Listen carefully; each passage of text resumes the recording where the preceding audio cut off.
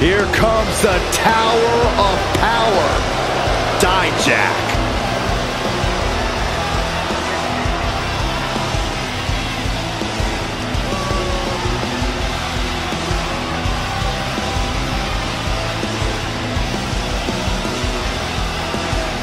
The following contest is scheduled for one fall, making his way to the ring from Worcester, Massachusetts, weighing in at 270 pounds, Dijak!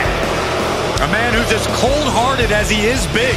There are few people who are as disciplined as Dijak. Methodical in his actions, there is no movement wasted in the ring. With strength, stamina, and shocking aerial skills, there's no telling what Dijak will hit you with next. He has been on a warpath after his rebirth, and now he's fully unlocked his true self. Bringing his brand of justice to the WWE, and no one is safe from Dijak's wrath.